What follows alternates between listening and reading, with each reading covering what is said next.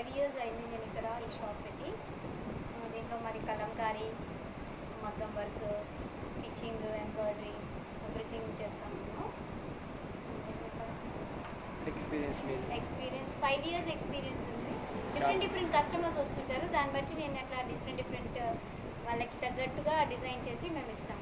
Experience madam మీది?